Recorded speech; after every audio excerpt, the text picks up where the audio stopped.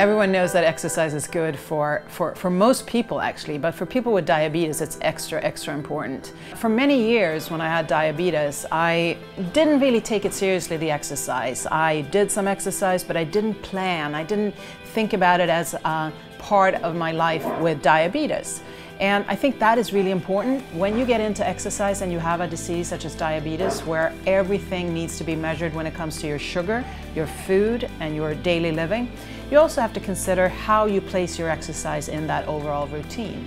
And what I've discovered is that I need to do different kinds of exercises. I've talked about previously how I walk every day. I just walk and gently walk. It's a nice cardiovascular exercise, but it doesn't really bring my heart rate up that much and it doesn't build muscle.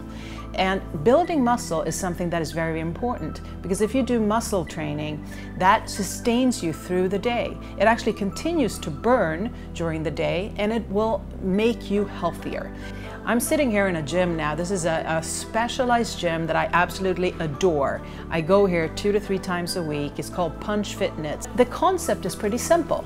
It's a concept that involves a boxing, kickboxing.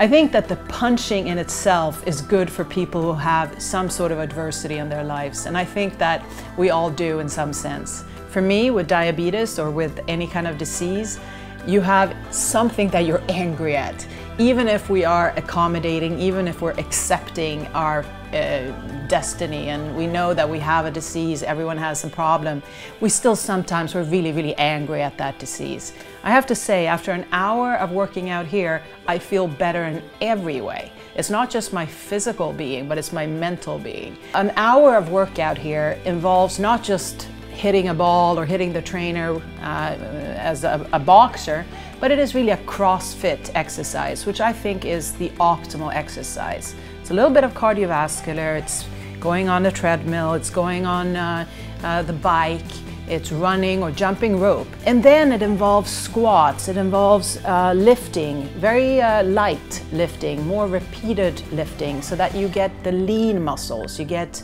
uh, nice looking muscles and it's not just pure bodybuilding. The goal really for any exercise that you're doing is to get your heart rate up. Because when you get your heart rate up, your heart also exercises. When you think about it, if you exercise your, your muscles, that's one thing.